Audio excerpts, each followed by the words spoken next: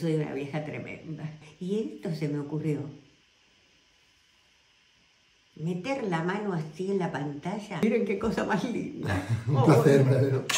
¿Cómo lo quiero? Es tan importante para, para mí como abuela ver que vos entregas todo el conocimiento y el gran secreto es poder inspirar a que lo hagan.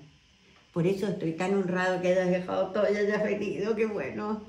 Bueno, y contale, ¿cómo me conociste y qué es lo que has hecho? Pues yo conocí a María Elena en, un programa de, YouTube ya hace un par de años y bueno, pues para mí, como me imagino para la mayoría de vosotros, siempre me inspiró el, pues como dice ella, ¿no? ver esta abuela tan, tan, tan feliz, tan, tan llena de vitalidad y al final en este mundo que hay tantísima información, pues bueno, yo siempre me resoné mucho con, con María Elena. Entonces la primera vez decidí hacer una, una primera consulta con ella, donde ella me dio varias, varias pautas para yo ir modificando en mi vida.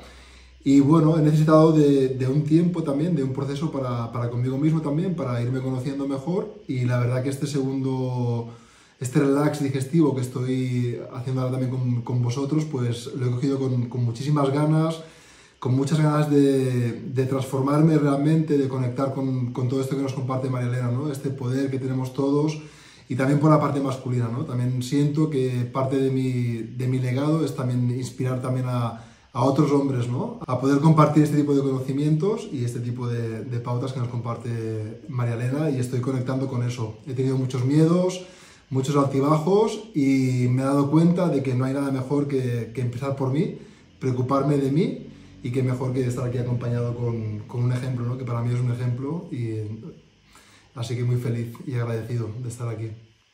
Y este es un reconocimiento muy grande, porque esto que hacemos es el verdadero camino espiritual, es el sacrificio por los demás, es yo estoy bien, porque el estar bien ya el solo hecho de estar bien, vos mirás a la otra persona desde otro nivel.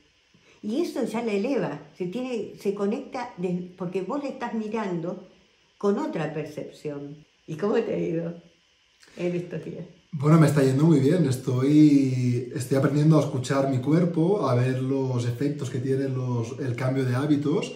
La verdad que estoy contento porque lo estoy llevando muchísimo mejor de lo que creía. No me está costando el ayuno de 16 horas no me, no me, está costando nada.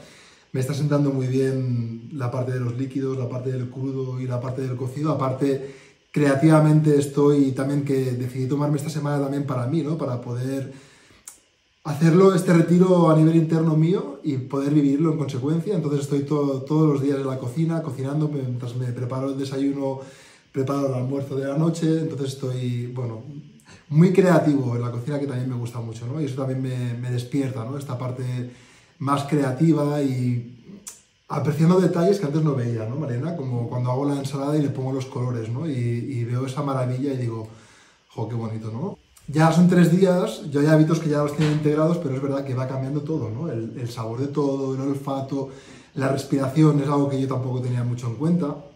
El pararme por las mañanas y ahora ya pues voy en el coche y cuando me paro, hago las respiraciones, no sé, me siento mucho más presente, me siento mucho más aquí en el ahora y, quiero seguir aquí. Es tan mágico este proceso, tan fantástico, porque es poder observar cómo funciona el cuerpo en realidad, porque esta es la realidad.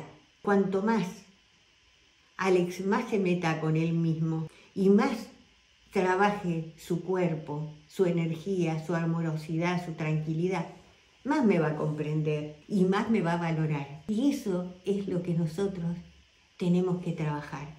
Pero empieza por la valoración propia.